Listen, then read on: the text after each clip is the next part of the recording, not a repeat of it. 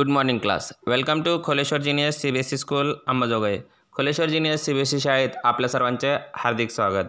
आज आपण पाहणार आहोत मराठीची तासिका. मराठीची तासिकेत पाहणार आहोत आपण व्याकरणाचा आज अभ्यास करणार आहोत.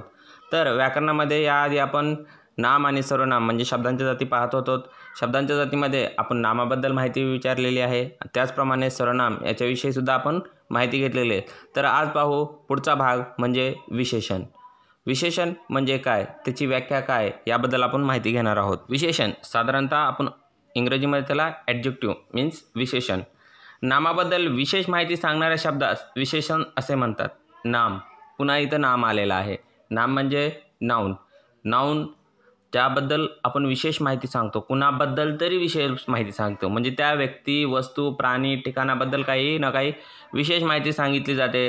त्या विशेष माहितीला किंवा त्या नामाबद्दल सांगितल्या जाणाऱ्या एक्स्ट्रा शब्दाला म्हणजे अतिच्या शब्दाला किंवा त्याचं गुण दर्शवणाऱ्या शब्दाला आपण काय म्हणतो? विशेषण असं म्हणतो. म्हणजेच नामाबद्दल विशेष माहिती सांगणाऱ्या शब्दात विशेषण असे म्हणतात. त्यासाठी आपल्याला उदाहरण दिलं आहे चांगली मुले. मुले कशी आहेत? चांगली. मूल हे काय? नाम आहे. पण कसली मुलं आहेत ते? चांगली मुलं आहेत. वाईट मुलं आहेत. सभ्य मुलं आहेत. असभ्य लेकरं आहेत. विद्यार्थी हुशार आहे. हे सर्व काय? आहे एक प्रकारचं विशेषण आहे. किंवा राम हुशार मुलगा आहे. राम कसा मुलगा आहे? हुशार. हुशार म्हणजे काय? त्या झाला तो शब्द त्याचा झाला विशेषण झाला. कोणाबद्दल माहिती सांगतो विशेषण? रामाबद्दल माहिती सांगतोय. उदाहरणार्थ चांगली मुले काळा कुत्रा आणि पाच टोप्या. बघा विशेषण. चांगली काळा आणि पाच. टोप्या किती आहेत? पाच आहे.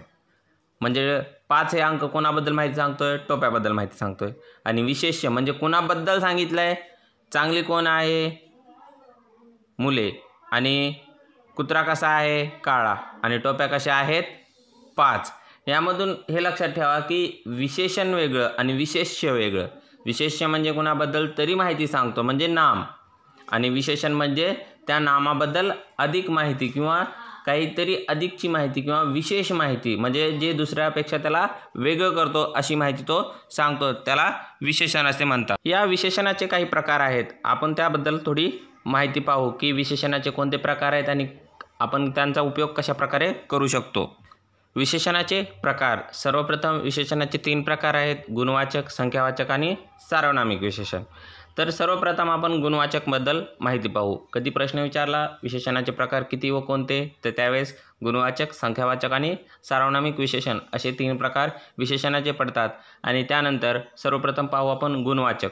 त्यामध्येच आहे गुण म्हणजे आपल्यामध्ये जे एखादा चांगला जो गुण आहे किंवा चांगली गोष्ट आहे ते सांगणे म्हणजे गुणवाचक. नामाच्या कोणत्याही प्रकारचा गुण किंवा विशेष माहिती दाखवणाऱ्या विशेषणाला गुणवाचक विशेषण असे म्हणतात. त्याची डेफिनेशन काय आहे?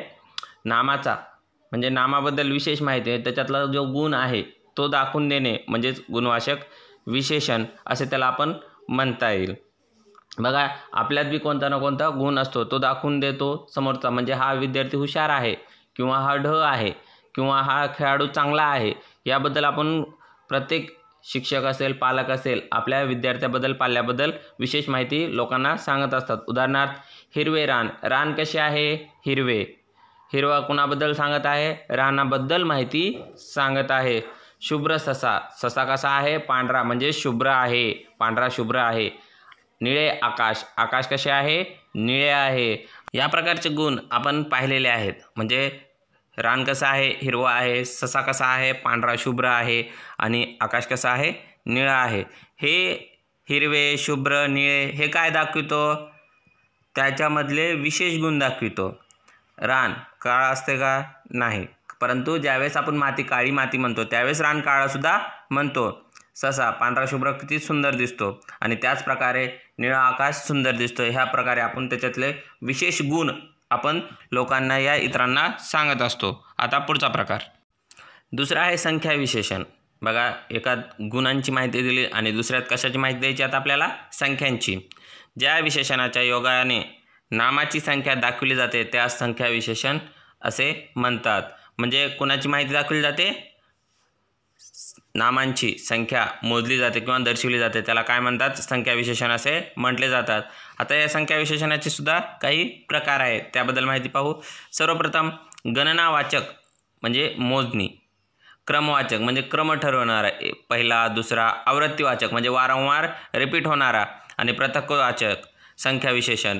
आणि म्हणजे काही अंतरानं दर्शवणारा आणि अनिश्चित म्हणजे काही सांगता येत नाही. म्हणजे किती संख्या असेल किंवा किती नसेल. म्हणजे बघा कोणते कोणते प्रकार आहेत पुन्हा एकदा.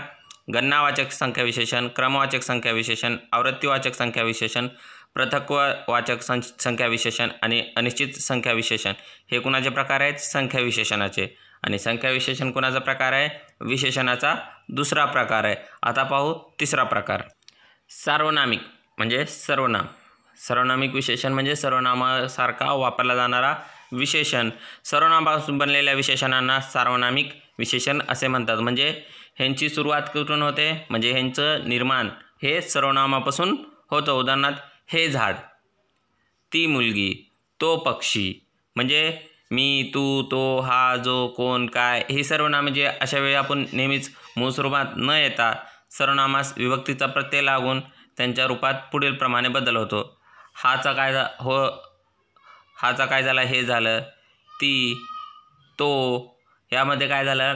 लिंग परिवर्तन आणि विभक्ती प्रत्यय प्रथमा द्वितीया आणि असे विभक्ती प्रत्यय आल्यामुळे त्यांचा रूपात बदल झाला आणि त्यानुसार त्यांचं काय झालं? विशेषणामध्ये रूपांतर सार्वनामिक विशेषणामध्ये रूपांतर झालं.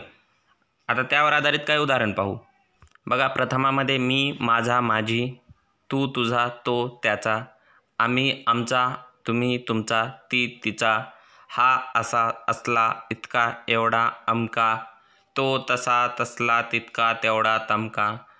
जो जसा जसा जसला जितका जेवढा आणि कोण कोणता केवढा. या पद्धतीनं काय झालं आहे सर्वनामामध्ये बदल होऊन सार्वनामिक विशेषण हे तयार झालेले आहेत. यानंतरचा पुढचा भाग पुढच्या तासिकेत पाहू. तोपर्यंत धन्यवाद. Have a good day. Bye. Thank you